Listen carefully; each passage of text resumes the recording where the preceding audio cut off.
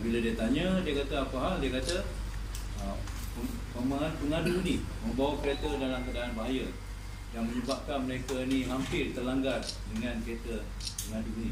Jadi mereka tak puas hati dengan pengadu ni. Itu sebab mereka ekori.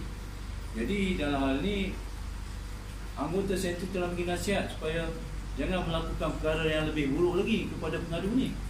Dan apabila mendengar nasihat ini, ketiga-tiganya telah pergi beredar daripada tempat tersebut tanpa membuat apa-apa report ataupun apa-apa laporan dibuat.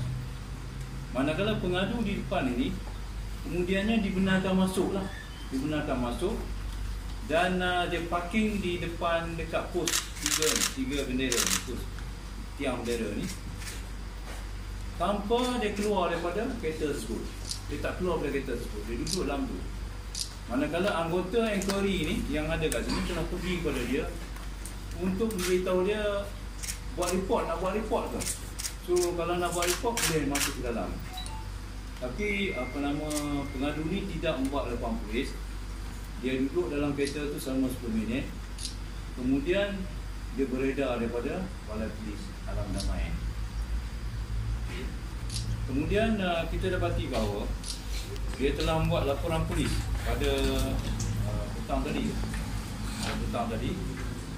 Dan kita telah mengklasifikasikan kes ini kepada Seksyen 506 Kanun Kesalahan dan uh, ubikan uh.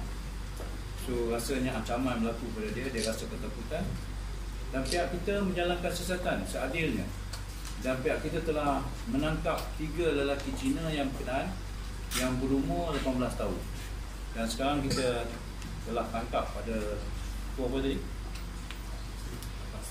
Ha, lepas setengah ha, malam tadi ya. Jadi kita dapat tangkap dan kita akan siasat di bawah seksyen 506 Karubitan.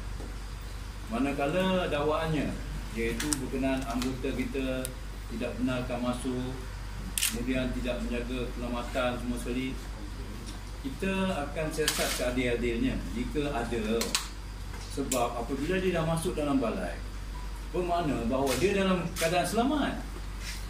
Dan dia duduk di situ 10 minit tanpa ada keluar.